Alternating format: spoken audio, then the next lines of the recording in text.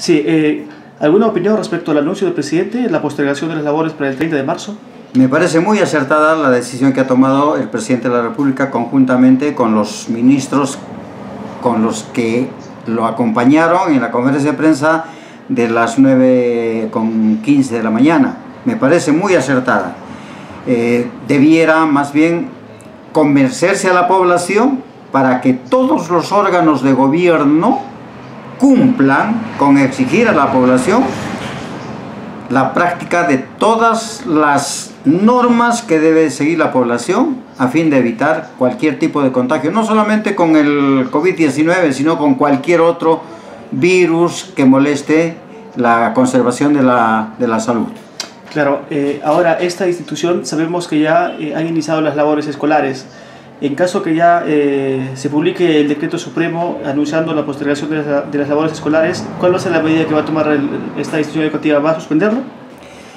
De salir el decreto supremo tiene que salir y mm, seguramente sale en el lapso del día de hoy, 3, 4, 5 de la tarde y su vigencia es a partir de mañana.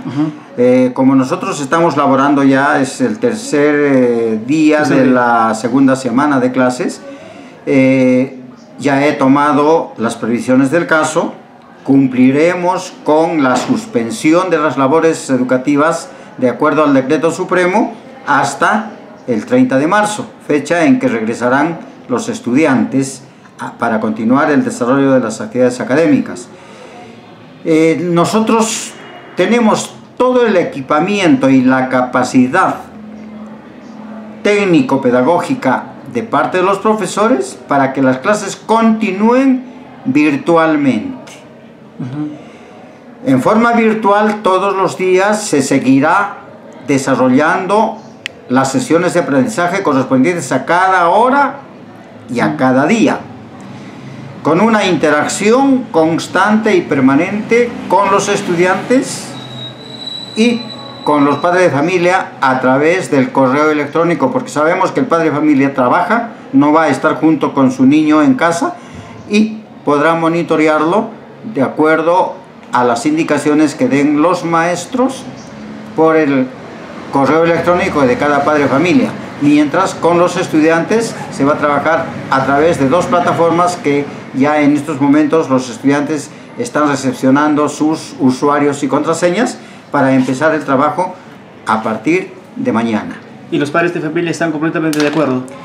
Nosotros creemos que sí, puesto que de inmediato, terminada la tarea de entregar los usuarios y contraseñas a cada uno de los estudiantes, también les mandaremos el comunicado a través del correo electrónico a los padres de familia para que estén enterados y tomen las providencias del caso a fin de que sus estudiantes sus hijos puedan mañana desempeñar las labores educativas desde la casa vía internet.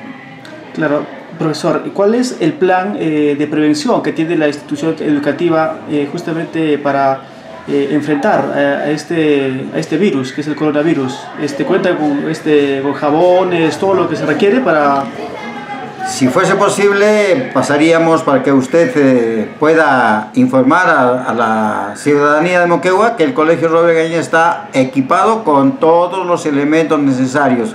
Hemos tenido una reunión de padres de familia y ahí se trató el, el tema. A los estudiantes durante las actividades permanentes se les habla todos los días y se controla la práctica de las acciones que la dirección explica a los estudiantes en la formación para que se cumpla. En cada servicio higiénico, en cada lavatorio, existen dos dispensadores de jabón líquido. Los estudiantes, antes de ingerir el refrigerio, por ejemplo, tienen, que lavarse las manos. Ellos mismos acuden a los, eh, a los lavabos para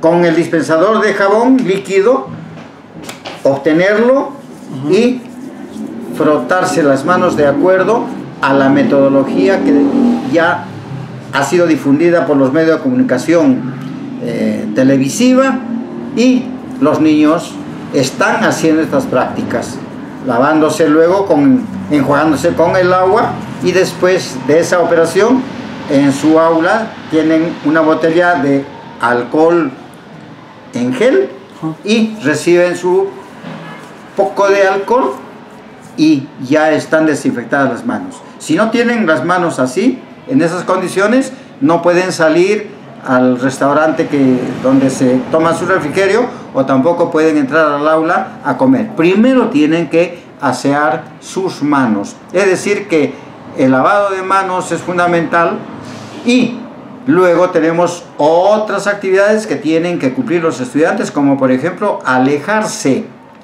uno al otro a una distancia, saludarse verbalmente, sin tocarse, sin darse la mano, ni menos mucho, ni menos tampoco hacer uso de los, eh, de los abrazos y de acercamiento de mejilla a mejilla. Está suspendida esa práctica puesto que el momento para poder evitar el contagio eh, eh, hay que practicarlo.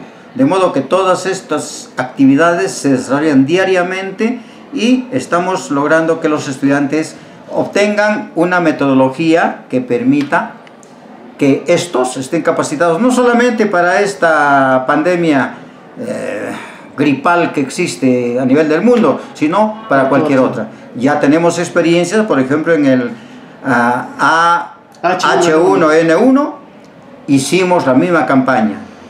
Si hay estudiantes que estaban en aquel tiempo en el colegio, ya saben. Por ejemplo, el estornudo, todos lo hacen doblando el codo y estornudando. Sobre todo, no en lugares en donde estén con sus compañeros, sino al tener el deseo de estornudar, entonces ellos buscan alejarse del grupo para hacerlo. Todas estas formalidades ya los estudiantes están practicándolas. De modo que espero que estemos trabajando de acuerdo a las normas que da el MINSA para evitar cualquier tipo de, de contagios, no solamente de esta pandemia, sino de cualquier enfermedad.